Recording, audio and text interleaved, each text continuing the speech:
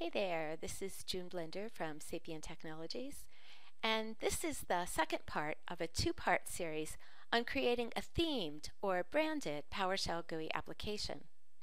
In the first part, we transformed this default sort of boring-looking PowerShell GUI app into this much snazzier, modern, dark theme GUI app with corporate branding. Now today we're going to do what I think is really the coolest part of this. We're going to save the thematic elements of this GUI app in files so that we can easily reapply them to new GUI apps that we create and give makeovers to existing GUI apps. And we can also share the theme with friends by sharing the files. I've shared all of the files that I'm going to be using today in my this GitHub repo. Um, this is the branded GUI apps folder in Thinking in Events. So I'll be sharing that with you and feel free to fork that and do pull requests and share your themes as well. To do this work, we're going to be using the features of PowerShell Studio on the Designer tab in the Template section. We'll create a property set, a control set, and a form template, and we'll apply them. So let's get started. This is fun.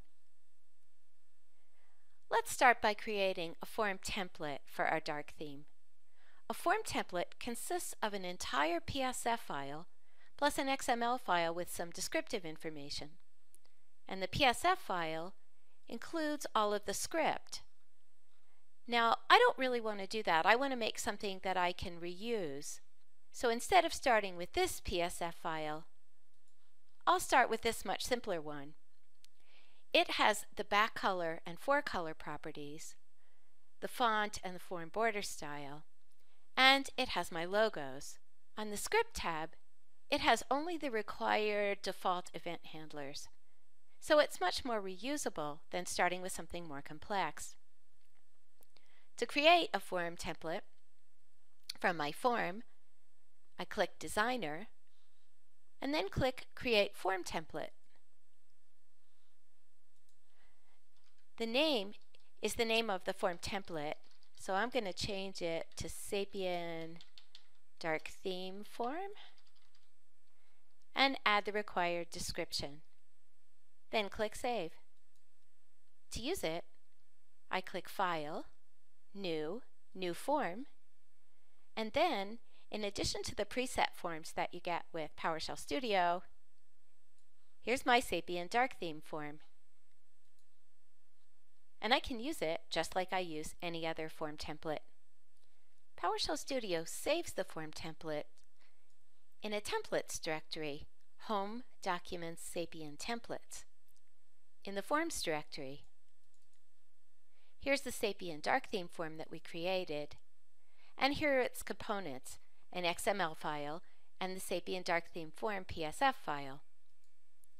So you can share your form template with your colleagues and friends. Next, let's save our pretty buttons with a deep rose border in a property set. A property set is an XML file with property names and property values that you can apply to any WinForm control. So I can create a button and then apply the properties of this button to it. Let's create that property set. I'll right click the button and click Create Property Set. Then I'll select the properties that I want to include in the property set. The back color, flat appearance, flat style, font, and fore color, and give it a description. Then I click Create, the file name that I save it under with a, with a .properties extension is what appears in the property set picker, so I like to pick something nice. And then I'll click Save. Now, when I create a new button, and I'll just throw one on here, I can right-click, click Apply Property Set, and in addition to all of the preset property sets, I can click my Deep Rose button. And now this button has all of the properties of the button that served as its model. Now I want to save my logos. If I'm using the dark theme form, I don't need to create logos because they come with them pre-inserted. But if I'm restyling an existing PowerShell GUI app, I want to be able to add them easily. Now this logo consists of a picture box and a label. So I want to be able to save the two WinForm controls and their properties and perhaps even functions and event handlers that make them work. So I'm going to create a control set. A control set lets me save multiple controls. I'll right click and click Create Control Set. Give it a description. Click Next. It shows me all of the functions in my PSF file. None of these are related to the logo, so I'll skip them but I will include the default event handlers for the label and the picture box, and click Finish. Now I'll save them.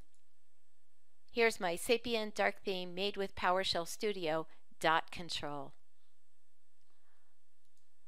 This logo consists just of a picture box and its image property with a bitmap of the, of the image. I could save it as a property set with its image value. But then, when I went to use it, I would have to add a picture box control to my form and then apply the property set. For this, I've created a control set because I can save the control and its properties together. It's just a little bit easier when I use it. The last thing I'm going to do is to save the form elements as a property set. You'll recall that we've already saved them as a form template so that we can create brand new forms. But if I'm restyling an existing form, I don't want to start with a new form. I want to be able to apply the form properties to an existing form. So I'll right click and click Create Property Set.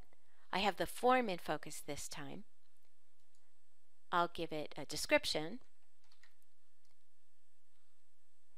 click select the properties that I want to include. I'll do back color, font, and forecolor, those ambient properties, and click Create. And I'll save it. Here's my dark theme forms property set. Now, let's use the files that we've created.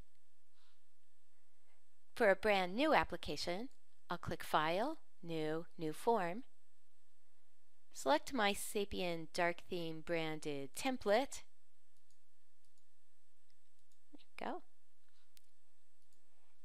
And now if I put a button on it, I can right click, click Apply Property Set, and select my pretty deep rose button. And now this button has the properties of its model. I can do the same thing with the text box because I've saved a text box property set. Right click, apply property set, and here's my dark theme text box. So that's how you start with a brand new form. What if I wanted to give a form a little makeover? If you've ever been in one of my Thinking in Events sessions at user groups, you have a little GUI app just like this one. So let's apply our Sapien branded dark theme to this GUI application. I'm going to start by right-clicking. I'll click Apply Property Set and choose the dark theme form property set that we just created. That looks nice already. And you can see that the label picked up the ambient property for the font and font color. Here's a text box, right click, click Apply Property Set, Select the text box theme. And these are buttons. One, two, three, shift click, right click, apply property set, find that deep rose button property set, click select. That's looking nice already. Let me scoot this down to make some room for my logos and I'll add those control sets. To do that, I come to the toolbox and click the Control Sets tab Then, in addition to all of the nice control sets that come with PowerShell Studio, here's my Sapien logo. Just double clicked to insert that. And here's my Made with PowerShell Studio control set with a label and the picture box. And we're done. It's really quick. And since you've saved all of these elements in files, you can reuse them, use them on other computers, and share them with colleagues, just as I've saved them in my GitHub repo. So have some fun with these features. Be sure to fork that repo and send me pull requests for your theme ideas too. And again, thanks for listening.